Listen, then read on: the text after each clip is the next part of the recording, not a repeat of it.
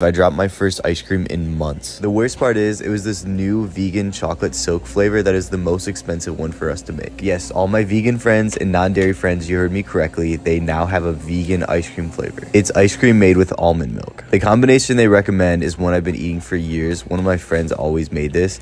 You add peanut butter, almonds, and banana into the ice cream. Then we're gonna chop, chop, fold, fold this all together, hug it up into a ball, and try to redeem ourselves. I do believe in second chances, but this one's a little messy, so we're just gonna throw it into a cup. And I still can't believe